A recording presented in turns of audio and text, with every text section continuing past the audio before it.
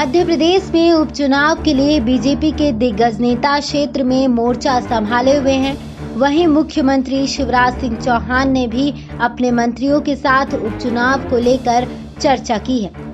बैठक से बाहर निकले मंत्री महेंद्र सिंह सिसोदिया ने कहा कि पूरी निष्ठा के संकल्प लिया है कि 27 की 27 सीटें हम जीतेंगे।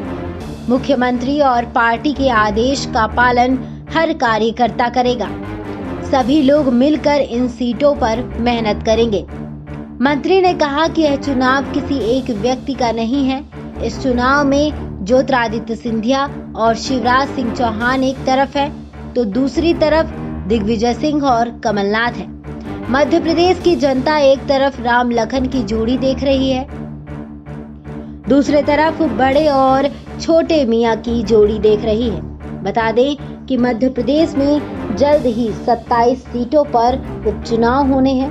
ऐसे में सभी पार्टियाँ चुनाव की तैयारियों में लगी हुई हैं।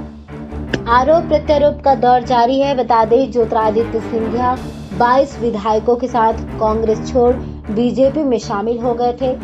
जिस वजह से मध्य प्रदेश में कांग्रेस की सरकार यानी कि कमलनाथ की सरकार गिर गई और एक बार फिर से मध्य प्रदेश में शिवराज की सरकार यानी कि बीजेपी की सरकार ने सत्ता में वापसी की है।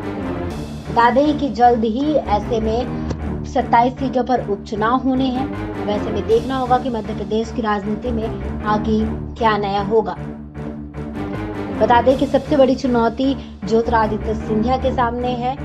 ऐसे में देखना होगा कि मध्य प्रदेश की इन 27 सीटों पर होने वाले उपचुनाव में जीत किसकी होगी।